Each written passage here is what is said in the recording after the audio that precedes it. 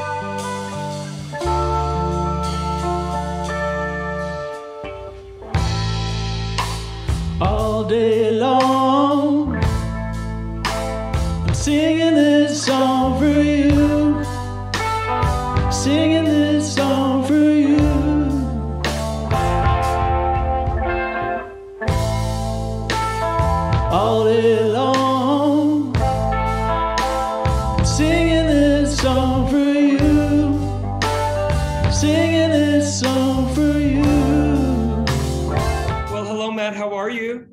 Good, good. How you doing? I'm doing great, thank you. And I'm so excited that the audience just got a little sneak peek of your original tune, And I Love You. Matt, you were born in South London. When did you make your way over to the States? I was. I was born in South London. I came here um, at the tail end of 2007, more, more really towards 2008, getting into 2008. So it's been, yeah, a good 13, 14 years ago. Yeah. I love it. I love it. Well, you are now in Brooklyn. I'm in Manhattan. So excuse any sort of noise. But as you know, living in any borough in New York, you are bound to get a lot of Yeah. sound Yeah. from outdoors. It's just but part of it.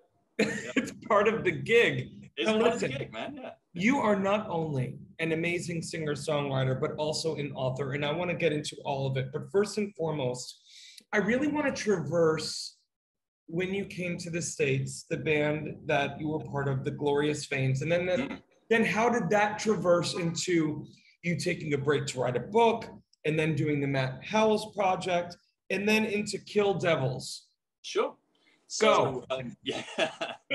um, so I, yeah, as I mentioned, I, I moved to tail end of 2007, sort of beginning of 2008, and we actually the Glorious Banes we got together pretty early on in that. I would say sort of January, February 2008. So pretty much as soon as I got here, I I just put a, an ad on Craigslist, as you kind of do, and um, Craigslist is a can be obviously kind of a crapshoot, but we were lucky enough that myself and my singer Paul and um, the drummer uh, Wiggy, the three core members of that group, we all met on Craigslist and just kind of took it from there. Like started jamming, got a couple more members, and started putting together our own material and playing around. And we did that for, I want to say, a good eight solid years of that. Um, during which we we did a couple of cross country tours to the west coast and back, and played LA and sort of down south, south by southwest, and uh, off the back of all that, did two albums, um, three if you want to count like a third chunk of songs we recorded.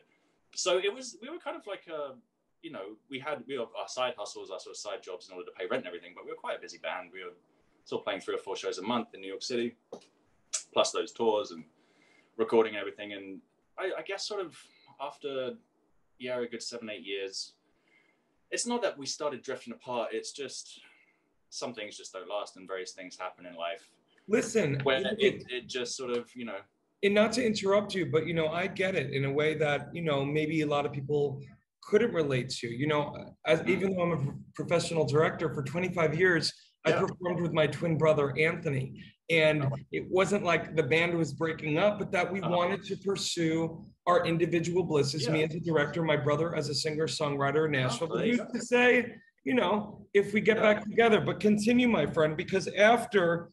Glorious Veins, you know, decided to take a pause. Was it Uh-huh. after that time that you wrote your book? It is, and uh, one of the not to get too personal or anything like that. I'm perfectly happy talking about it myself, but um, around that time, I was also dealing with um, some personal issues.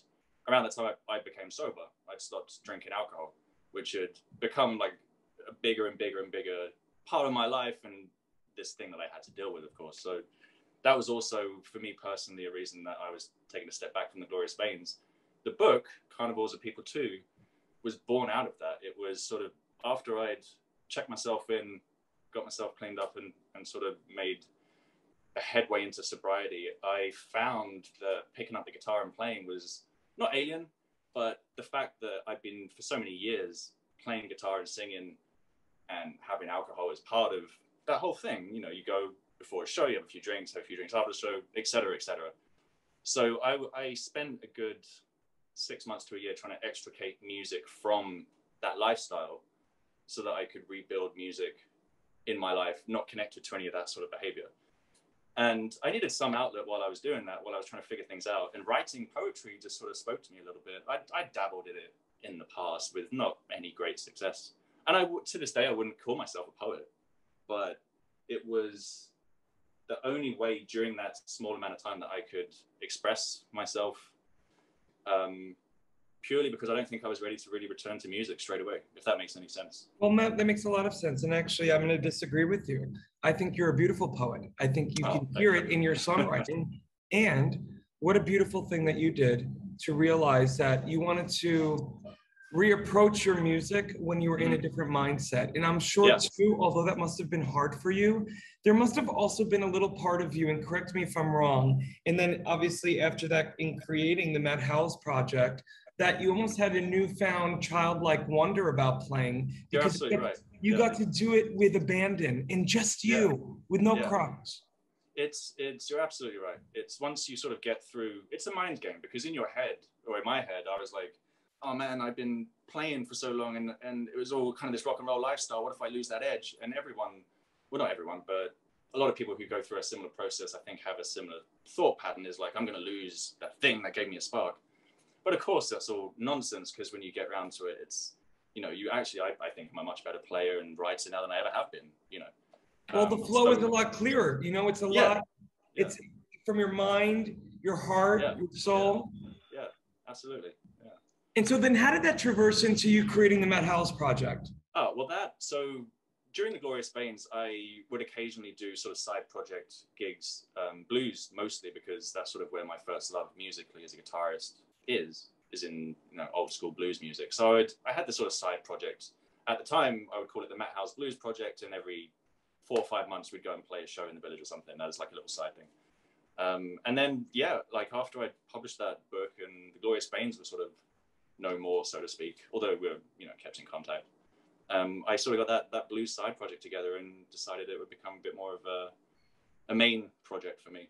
I love that. And in you attacking your love of the blues, you are now also talk to me a little bit about Kill Devils. Yeah, so Kill Devils is a really exciting project that, funny enough, is um, there's five of us. The singer is from the Glorious Banes, so we have a little connection there. The singer and I from our past. I love that full circle. Yeah, yeah. So we've been. Uh, well, there's three of us, kind of four of us actually in the band that writes the material. So we've been kind of. It's very much a collaborative process.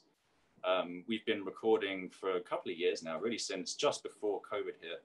We were in the re- recording just rehearsing and recording, and we're putting things on Spotify and really trying to get a, a first show going for that group. So it's uh, exciting things on the horizon. Well, I love it. And, you know, I want to also buoy that comment into what I'm sure you're also very much looking forward to as things start to open up that live performance aspect. What do you miss most about it?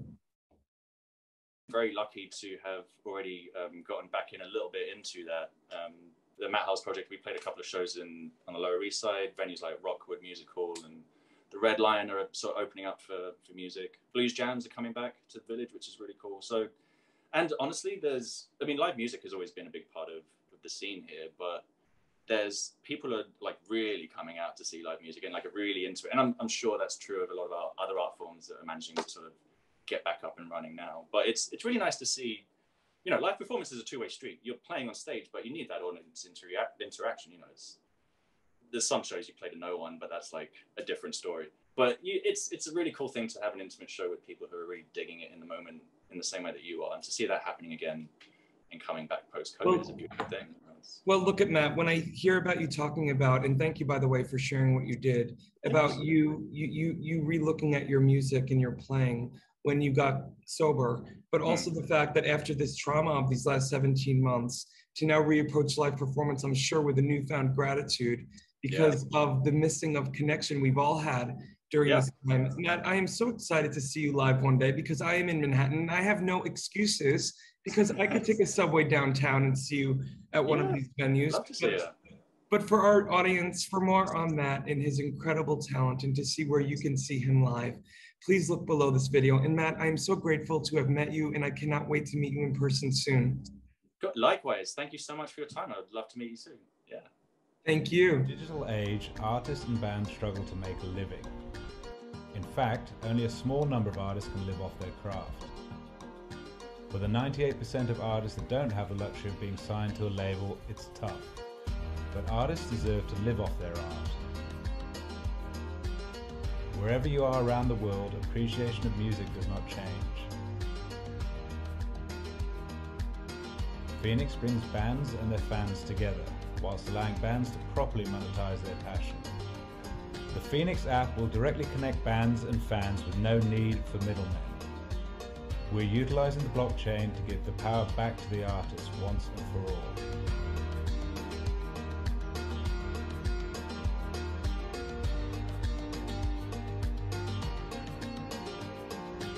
Join FENIX, join the change.